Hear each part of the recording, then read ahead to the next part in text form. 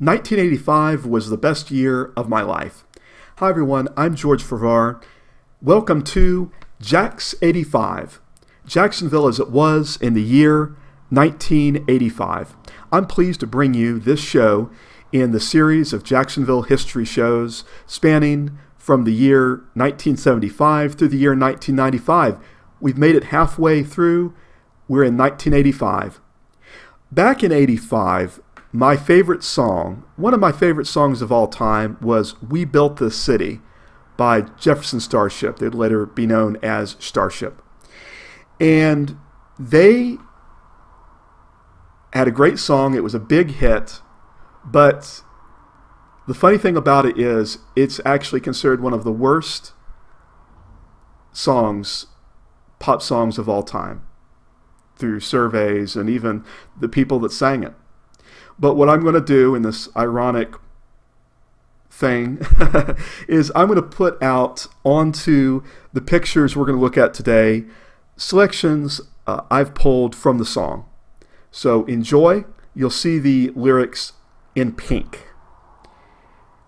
The big thing in Jacksonville in 1985 was the opening of the South Bank Riverwalk. You're going to see a lot of great pictures from Jacksonville in that time. Here at the San Marco Theater, The Goonies, okay, a Steven Spielberg masterpiece. I saw it in a theater. Here we see San Marco. And boy, the movies and the music back then, so much blew my mind at the time. So let's go back to the future, shall we? We're looking at San Marco.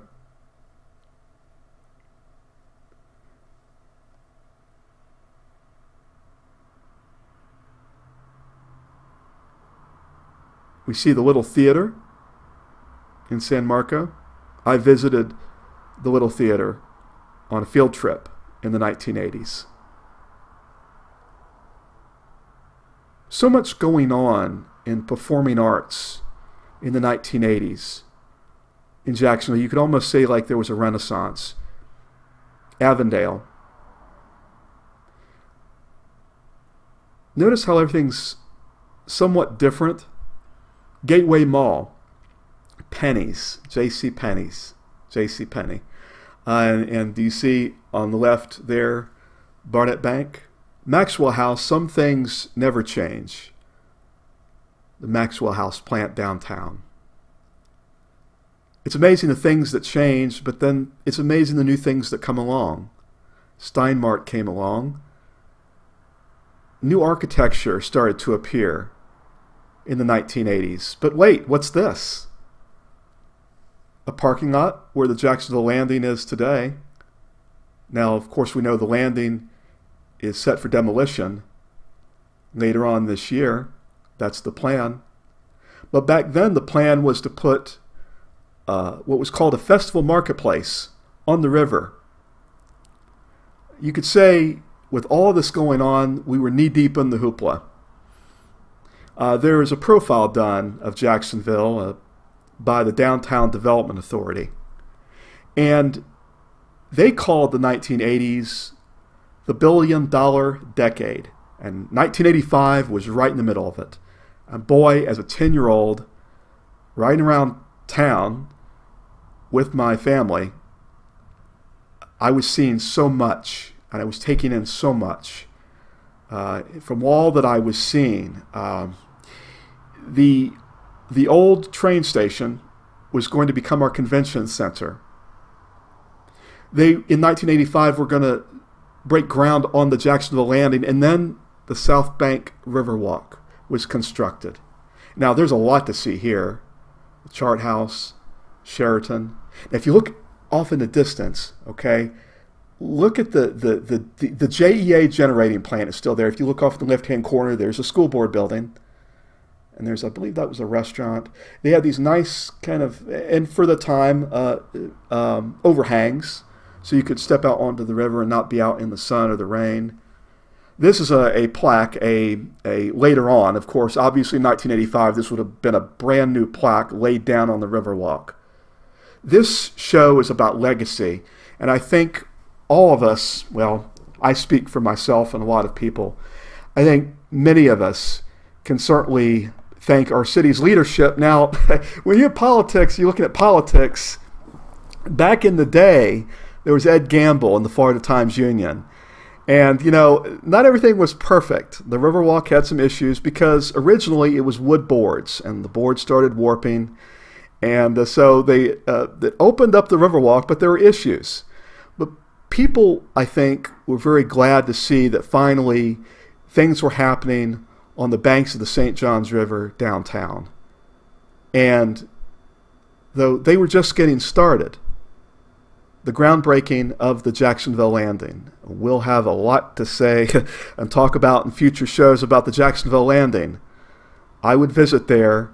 I believe it was in the first couple weeks it opened, but that wouldn't be until 1987. Okay? So we'll be talking about that in Jax 87. There's a groundbreaking in October of 1985. So this parking lot right on in front of what was at the time the Independent Life building, now it's the Wells Fargo Center. They just keep changing those corporate names. Um, it uh, and and the, you would see uh, that that there was a lot going to be happening, and it's going to happen in a matter of just a couple years. Now, there wasn't just development going on downtown. There was development out in the suburbs. This is a groundbreaking of the Mayo Clinic. Uh, here we see Mayor Godbold and other dignitaries, including Governor Bob Graham. Now, Jacksonville wasn't without issues and problems, and let's talk about them here. And Ed Gamble quite humorously displays them here. Tolls. I think everybody hated tolls. The toll booths. Uh, you'd be cruising along at a really good speed, then you'd have to come to a stop. Okay. Back then, it was cash or coin, or maybe you had a JTA pass, but you still had to stop. You had to stop your car, whether you're throwing it into the basket or seeing a toll taker. Uh, there were no SunPass things where you could just keep driving. Okay, this was way back, and even Santa Claus, even Santa Claus had to go fishing for change. Uh, so, quite a, uh, quite a level of humor um, from these these uh, political cartoons. Okay, newspapers were the big source of information in addition to television, and we'll be getting the television shortly. People were getting their news and kind of thinking about the issues, and tolls weren't going to go away as an issue. Uh, they'd been around for years, since the 1950s. Now, here we have a grand jury report, it looks like. Uh, JTA and the, tolls, and they're trying to pour molten uh, hot uh, lava on the protesters who are shooting up arrows. Uh, can you believe it? It's those blankety blank citizens protesting again. Who do they think they're dealing with? Elected officials?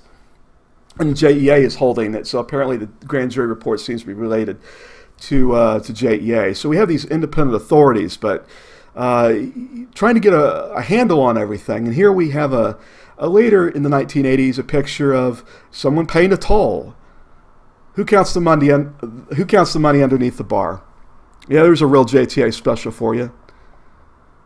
I mean, if you think about the absurdity of it, okay? The Matthews Bridge was built in the 1950s, and there you are in the 1980s, and you're still, and, and you're handing over money to people. These dingy carbon monoxide filled toll booths. But there was, there's these grand visions of the future. And in 1985, the United States Department of Transportation, through, through the, the Urban Mass Transit Administration, bestowed upon the city $23 million $23 million for a people mover called the Automated Skyway Express. Now, it won't come along until 1989, and this is a modern picture right here. Uh, but the money and a lot of the focus started as it came through in 1985. This has been dreamed about since the early 1970s. And there was a master plan where this would link up with suburban rail. Of course, we know where all that went. We all know what happened with all of that and uh, there'll be more to say down the road. Now, you could say that there were some things that stunk in Jacksonville, and some of it were the paper mills, Jefferson Smurfit, uh, Union Camp. Now, you'd have the smell, but you'd also have some health effects. And the city of Jacksonville was uh, not meeting the the standards for clean air from the federal government, and it wasn't helping business. And here you can see another another funny one. This one's from this looks like this one though is from 1984, but I'm trying to really um, uh, show you. And speaking of showing you, Channel 4, uh, WJXT back then had that eyewitness news format that was really neat. It was hard-hitting investigations. Now, I'm a little bit biased, I can say, and tell you that my father was a TV engineer there. I would I would go to the news, and at 6:28 in the evening, a lot of times I would run out from what I was, whatever I was doing to see if they scrolled Dad's name at the end when they would run the credits. Some nights they did, some nights they didn't. But I guess it kind of got me interested in the news. I used to watch the news, and uh, back then, lung cancer was a big problem. Uh, we had one of the highest lung cancer rates in the United States of America. Uh, they profiled in an investigation uh, people, and there were people that claimed that they, they were around these areas and they could feel the impacts on their lungs. These were elderly people. And this, like the tolls, these were issues that had been around for years. Since the late 40s, there had been complaints about women's nylons for some reason just falling apart, disintegrating, sheets that would be put out to dry having holes in them. Uh, but the business people, some of the business people, would say, hey, it's jobs. And some, like WJXT, and my dad used to joke, the smell of money. Okay? But it's hard to sell a city, even on the river, if you've got an odor. Now, don't tell us you need us because we're the simple fools looking for America coming through your schools. Now, here is a preppy look. Bolles School, a private school off of San Jose Boulevard. Uh, now, that's the preppy look right there. And I remember back in the day, back in the 80s, as a kid, I was dressed up real nice one time, and a guy at either was Winn-Dixie or Publix said, Hey, you look like a preppy. Went, what? And, and I, I, I, got it. I understood. You know, uh, these future leaders, okay? Stanton College Prep, they graduated the first senior class of college prep kids in 1984, okay? This is from 1985. I kind of dreamed that one day I would go to Stanton College Prep for high school, but wasn't to be. I would graduate from Forest High School, now known as Westside High. But you know, back then, different different things: books, paper, notebooks, spiral notebooks. Okay, they would be computers, but they would be in labs. Now, Douglas Anderson School of the Arts, another school that captured my imagination, these early magnet programs. And I envisioned Douglas Anderson School of the Arts, which opened as a magnet school in 1985 in that pro arts program, as being like the TV show of the time called Fame, the movie Fame. People dancing and painting and, and, and it, you know, I would dream about these places that I would go. And, uh, you know, it, Jacksonville was really working on some things. Now we were we did benefit off some things in the 1960s, like the Haydon Burns Public Library, built in 1965. It was 20 years old at this point, and I would. It was really neat because you know right around here would be the circulation desk. Now you see the sign says two mezzanine, two mezz mezzanine. Was, wow, what's a mezzanine? I was 10 years old, and I would go to these places, and there were all these books and there are all these people. And, and when you go downtown, you have to stand somewhere. You got to, you know, you got, you got to, you know, got to be, got to mind behave. Speaking of behaving, Crown Point Elementary. Now, Crown Point Elementary. Here's a modern picture, but uh, state of the art school, a school for the computer age. The library was cool because it had a ramp. See, you could you could walk to the if if you were good and you behaved, the teacher would say you can go ahead and take the ramp the library. If maybe things are, when we're not taking the ramp, we're, we're walking today. You're just to take the stairs. Uh, an amazing computer lab. Um, I learned basic at least how to try to, to, to make things change on computers. Like you put in all this series of code, and it would, might make it would create a program that would allow the color on the screen to change from blue to red, or it, there were different things. Now, I had to be very accurate. I had to be very detailed, and I, I finally though would get to the point in my computer classes where I could do it.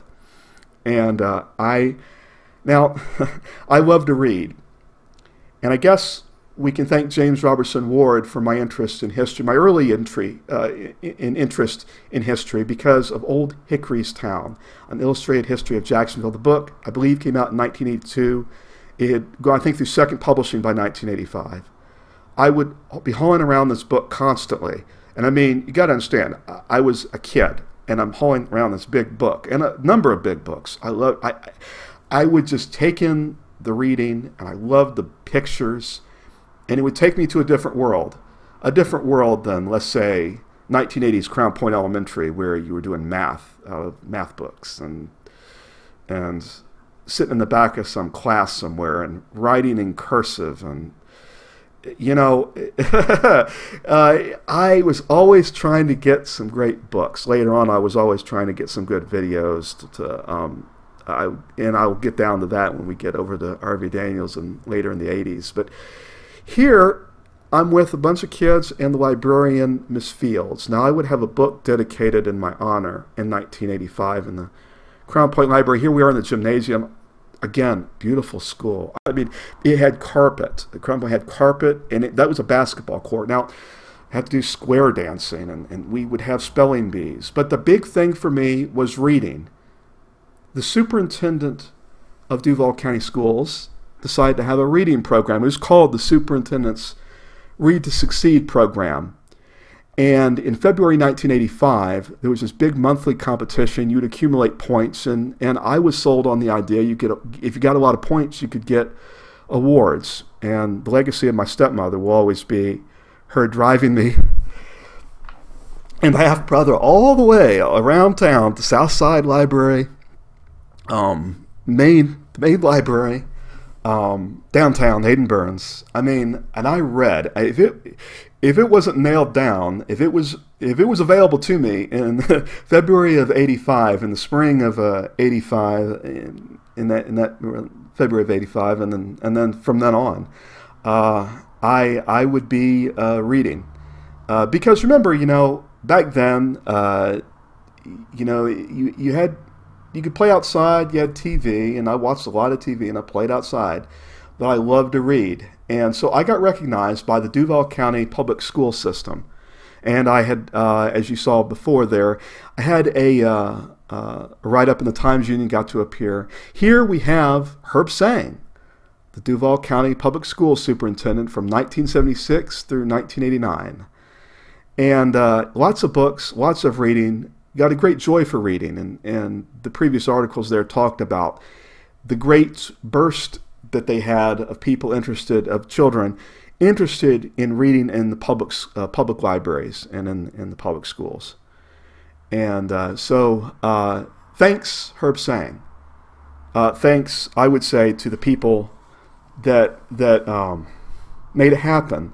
And here, speaking of, or say you don't know me or recognize my face, but here we have behind me uh, Linda Terry on the left, my special education teacher, and the Crown Point principal, principal Crown Point Elementary, Mildred Logan, and then my half brother in the in the uh, in the he was trying to kind of get I think get in the picture, and it was I had this certificate the school board uh, had had given given me, and I was all dressed up, and I had gone down there with my family, and, and they met me, and there's my family in 1985. 1985, the best year of my life. And then you see John W. Sutton, the school board member from our district, right there in the background at, at, on the on the dais. And and I mean, I mean, it was the biggest thing because you had to get dressed up, you had to go downtown, and you're getting these a set of encycl. I was get I got a set of encyclopedias. I got a basketball. I got an exercise mat. Um, I um, um, you know, and you see my father, my stepmother now also, later on that summer, I went to see Back to the Future in one of the theaters in Jacksonville. Maybe it was Orange Park. I can't remember, but I'll never forget that movie. Uh, I mean, it really blew my mind. Robert Zemeckis' film, Michael J. Fox, who was my idol, um, uh, really liked Family Ties TV show. And boy, when he jumped in that DeLorean and he went back to 1955, the movie was incredibly intriguing, but in 1985, while Michael J. Fox was jumping into a DeLorean, I was jumping into the Ford Fairmont station wagon. Now, this is not the actual car; it's a resemblance, and uh, but Um, let's just say it was not. It was my least favorite car, along with the Ford Escort. Uh, I was not big on station wagons, but there was plenty of room for me to pile up some books, uh, and I might run around later on with my, my headphones. And you know, you're going around town, and there's some music going.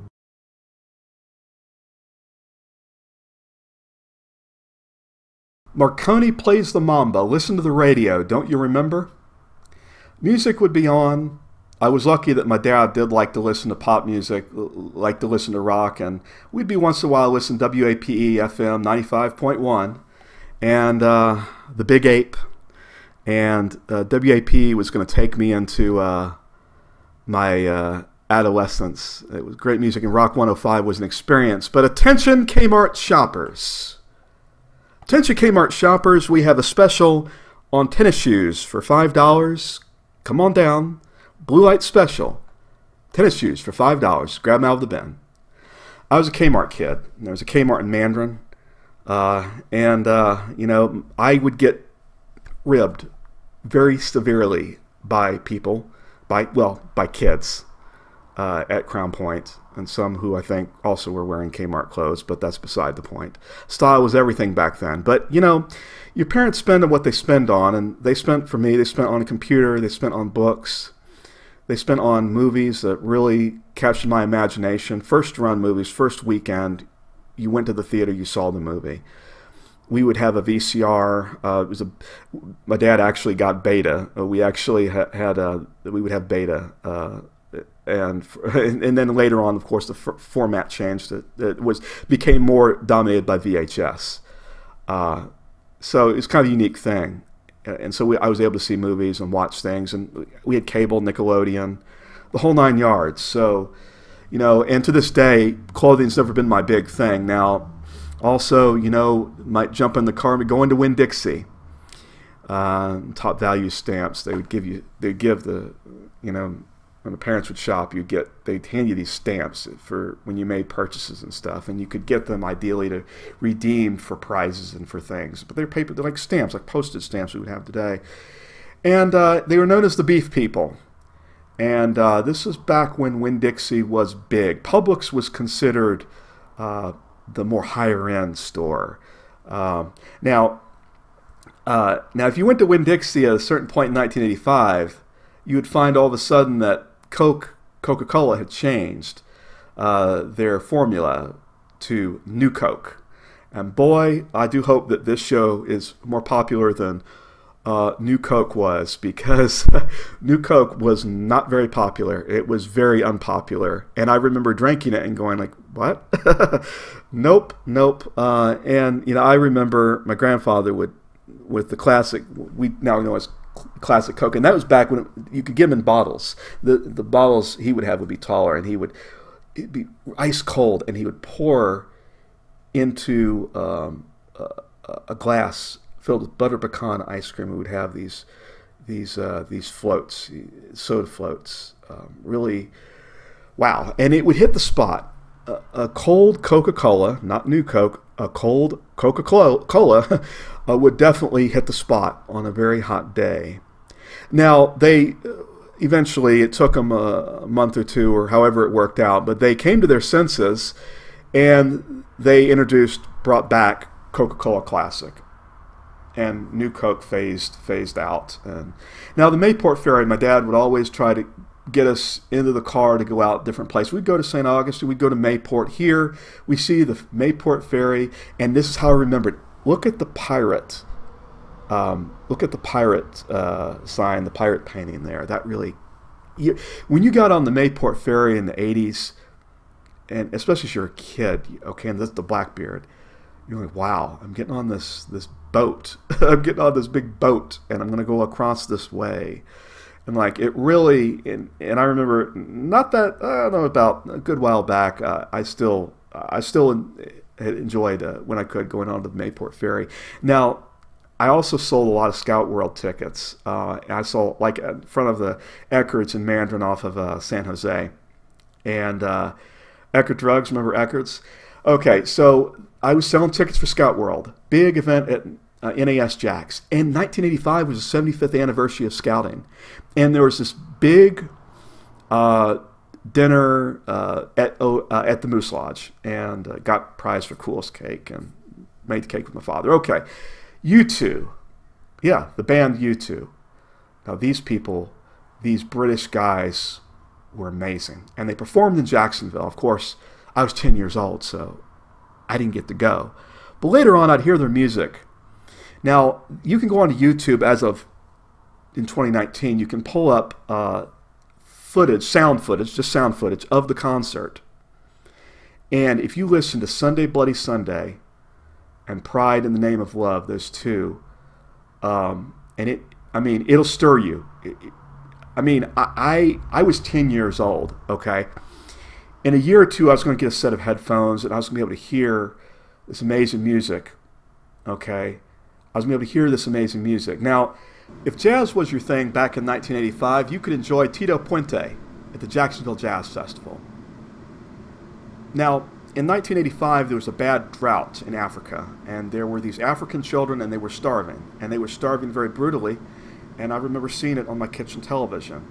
Well, one day I went out, turned on the kitchen television, and there were all these people performing at Live Aid, and there was also We Are the World. Okay, there were these different concerts where singers would gather together to raise money.